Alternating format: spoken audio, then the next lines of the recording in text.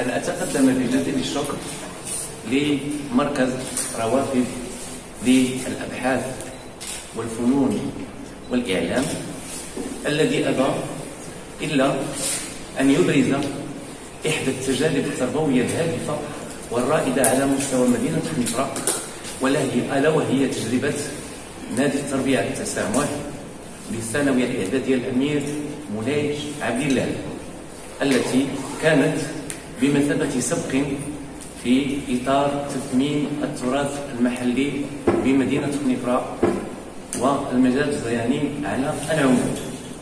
ورشتي هذا الصباح ستكون أو ستكونان في موضوع آه، منهجية توثيق التراث المادي وستسبقها ورشة حول عرض تجربة لناد من أندية المدينة وهو نادي التربية على التسامح وأترك الكلمة للسيد رئيس مركز رواد. شكرا أستاذ.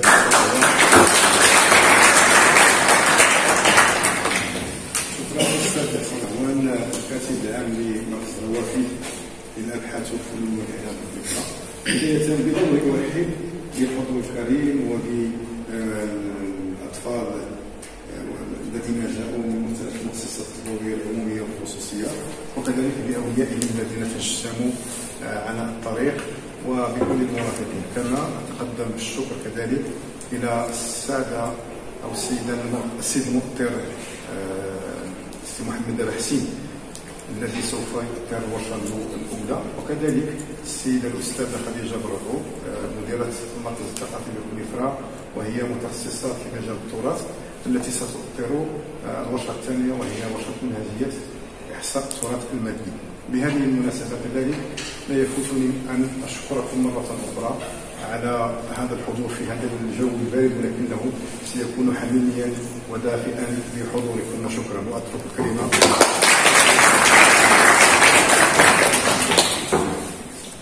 آه، أيضا بدوري سأشكر الجميع أشكر التلاميذ أشكر المؤثرين على حضورهما. والاستاذه خديجه التي تحضر معنا. من آه، المركز الثقافي لخريبكا وأيضا آه، السيد آه، حسن الكاتب العام الذي منذ البداية كان قد وفر لنا أجواء كبيرة جدا على مستوى جمع المادة وعلى مستوى تشجيع التلاميذ طبعا لبناء صح آه، ما يسمى بالنادي آه، التسامح وأتمنى أن تمر الأمور وتمر هذه الورشات على أحسن وجه. وحتى لا أطيل عليكم فأتمنى النجاح. وشكرا.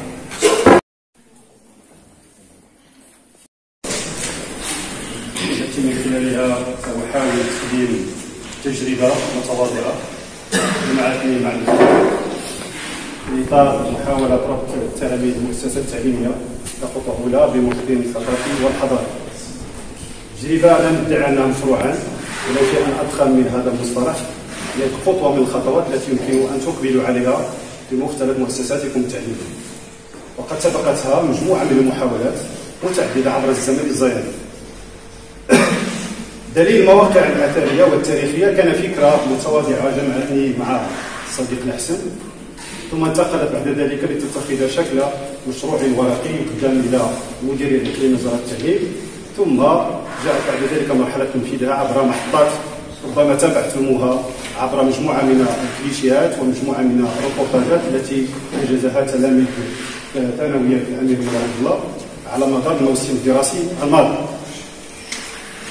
فهي تجربة تربوية لأنها انطلقت وتمت صياغتها داخل المحيط الدراسي ولكن ما نريد أنها لها نكهة تاريخية لماذا اعتبرتها نكهة؟ لأن غالبية أطفالنا خاصة الذين عايشوا هذه الأجيال الأخيرة ينقصهم الحس التاريخي نتيجة هجوم المعلومة الإلكترونية على فضاءاتهم الإنسانية والدراسية وبالتالي الحس التاريخي بدأ يضمحل. داخل هذه الفضاءات وبالتالي آه، الآن أصبحت أصبح الارتباط التلميذ مع ما هو تاريخي ضئيل إن لم منعدم في كثير من الحالات.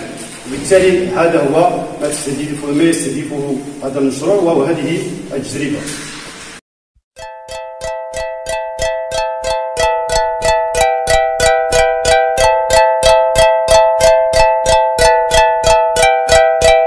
إذن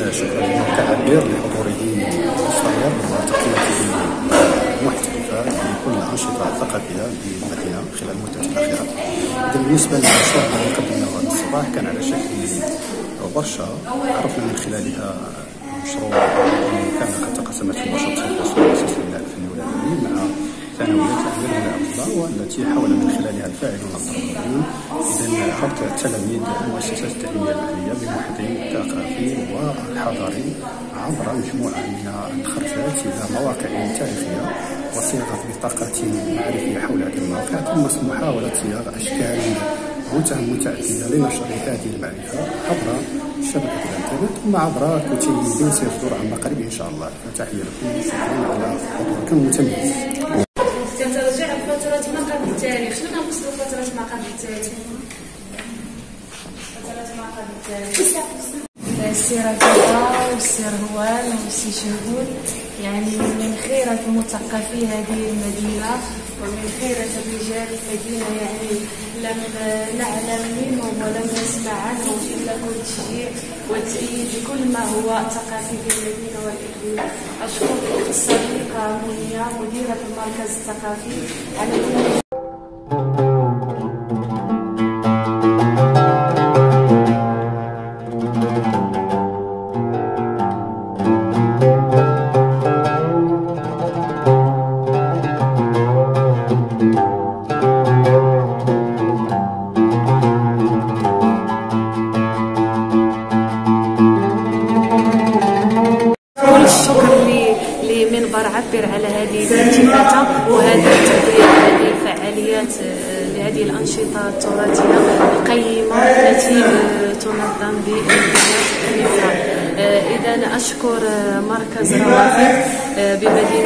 على هذا اللقاء التراثي الأول المنظم اليوم.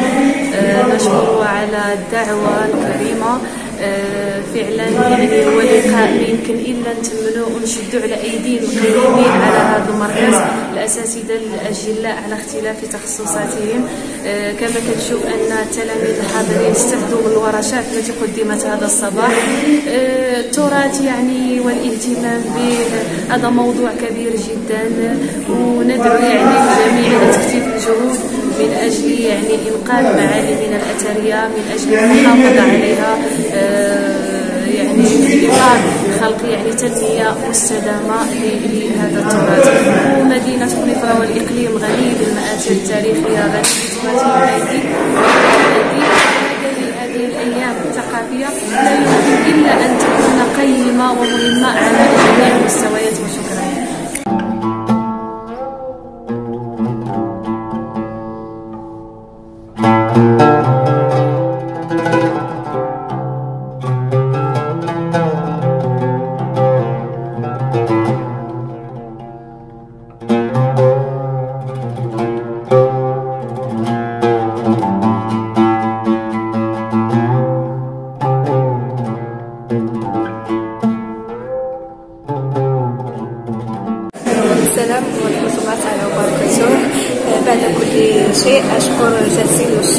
ملتقى روابط أول التراث آه، بصراحة استفدنا بزاف هذا الصباح هذا. وتعرفنا على المآثر اللي هي منضفة في مدينة منافرة واللي كتعتبر من أهم المآثر التاريخ للعاصمة الصيانية ذلك أنا كنوجه رسالة رسالة لأصحاب المهتمين بالتراث وزارة الثقافة والتراث أنها تهتم بواحد شوية بالتراث الأمازيغي المصنفري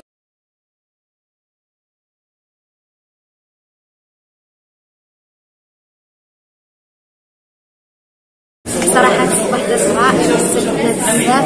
وحمينا التراث ديالنا وأنا سعيدة بزاف. السلام عليكم. اليوم جينا لهذا المسابقة ديال الرواتب ديال متواصل جمعية رواتب المعهد الثقافي هنا في مدينه سخنفره واللي شفنا بعدة محاور اللي تحدثنا فيها على حساب التراث الطبيعي والثقافي اللي كتعرفوا مدينه سخنفره وحاولنا أننا نبرزوا أهم المشاكل التي يعاني منها هذا المجال هذا والتهميش ديالو والتهميش ديالو بصفتي أنني ممثل جمعية مؤسسة الطارق كنقدم الشكر لجميع منظمين هذا العرض ديال مركز روافد.